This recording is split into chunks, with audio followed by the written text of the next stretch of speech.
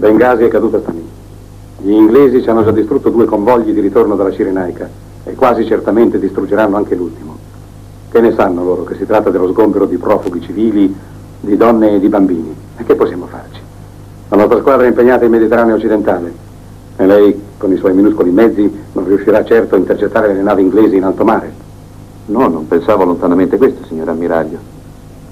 Ma non potrei tentare di colpirle quando saranno rientrate alla base. Dovranno pur rifornirsi di nafta, no?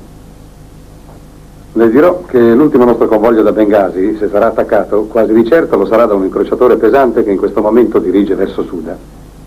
Verso sud. Quando dovrebbe arrivarci? Domani pomeriggio. Nel qual caso